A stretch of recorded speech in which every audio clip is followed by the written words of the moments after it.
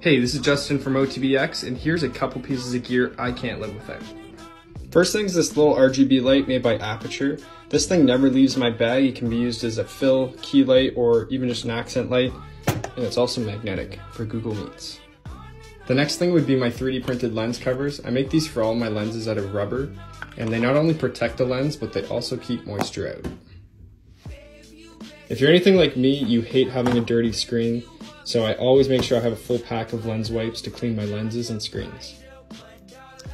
If you shoot video, you absolutely need a good variable ND. As you turn this, it gets darker, so it's great for on-the-fly shooting. The other filter that almost never leaves my lens is the Tiffen Black Pro Mist 1.8. This gives your footage a nice cinematic look. This flexible tripod also never leaves my bag. It's super portable and I use it a lot for mounting lights into awkward positions. Also, if I'm ever doing a time lapse, it allows me to mount my camera to things like fences or awkward spots that you can't get a normal tripod.